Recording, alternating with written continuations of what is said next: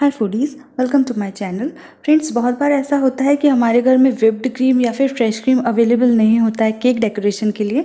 तो आज मैं आपको बिना क्रीम के आप कैसे आइसिंग प्रिपेयर कर सकते हैं, इसकी रेसिपी बताऊँगी। तो चलिए फटाफट वीडियो शुरू करते हैं। सबसे पहले हम एक पैन में आधा कप दूध ले लेंगे। इसके लिए हमें बहुत ज़्यादा इंग्रेडिएंट्स नहीं चाहिए। अब इसमें मैं दो चम्मच चीनी डाल देती हूँ और इसके बाद मैं इसमें एक चम्मच कॉर्नफ्लोर ऐड कर रही हूँ। अभी हमारी गैस बंद ही है। पहले हम कॉर्नफ्लोर को अच्छी तरह से मिक्स कर लेते हैं और जब अच्छी तरह से कॉर्नफ्लोर मिक्स हो जाएगा, तब हम इसे गैस को ऑन करेंगे और एकदम स्लो आँच पे रखेंगे। तो ये आप देख सकते हैं कॉर्नफ्लोर अच्छी तरह मिक्स हो चुका है। अब मैं गैस को ऑन कर देती हूँ और इसे इसी तरह हिलाते रहेंगे हम कंटिन्यूसली नहीं तो जो कॉर्नफ्लोर है वो नीचे जमने लगता है और जलने का खतरा होता है। तो ये आप देख सकते हैं गैस एकदम स्लो है मेरी और मैं इसे कंटिन्यूसली चला रही हूँ।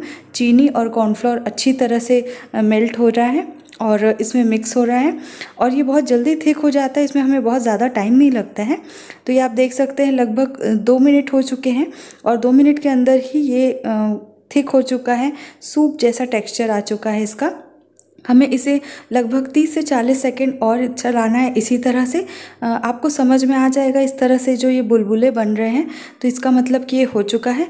अब हम गैस को ऑफ़ कर देते हैं और इसे अभी भी हमें चलाते ही रहना है क्योंकि हमारा जो पतीला है वो ऑलरेडी गर्म है। तो ये लग सकता है नीचे की तरफ़ कॉर्नफ्लोर है।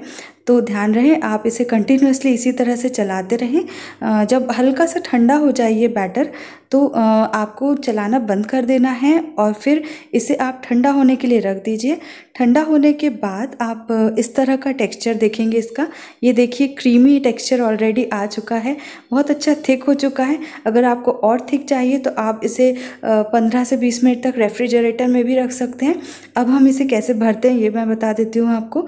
सिंपल किसी भी आप दूध का पैकेट ले लीजिए और ग्लास के ऊपर उसका जो टिप होता है ना कॉर्नर, वहाँ से आप नीचे की तरफ़ इसे रखिए और इसमें आप धीरे धीरे चम्मच से इसे फिल कर दीजिए। आप कोई भी आइसिंग बैग का भी इस्तेमाल कर सकते हैं। सिंपल आप पॉलीथीन से भी पाइपिंग बना सकते हैं बैग और ये आप देख सकते हैं, मैंने सिर्फ़ आधा कटोरी दूध लिया था। आधा कप दूध में ये इतना सारा बन चुका है, इससे आप आराम से एक केक डेकोरेट कर सकते हैं। जैसे हम चॉकलेट गनाज की केक बनाते हैं डेकोरेशन के लिए तो उसके ऊपर आप वाइट कलर से अगर हैप्पी बर्थडे या इस तरह से लिखना चाहते हैं तो ये बेस्ट ऑप्शन है। आपको अलग से क्रीम फेंटने की ज़रूरत बिल्कुल भी नहीं है विप्ड क्रीम बनाने की ज़रूरत नहीं है। इसे आप ऊपर से रबर बैंड लगा के अच्छा टाइट बाँध लीजिए और ये हमारा आइसिंग तैयार हो चुका है बिना क्रीम का। आई होप आपको ये रेसिपी अच्छी लगी होगी। वीडियो कैसी लगी? कमेंट सेक्शन में ज़रूर बताइएगा।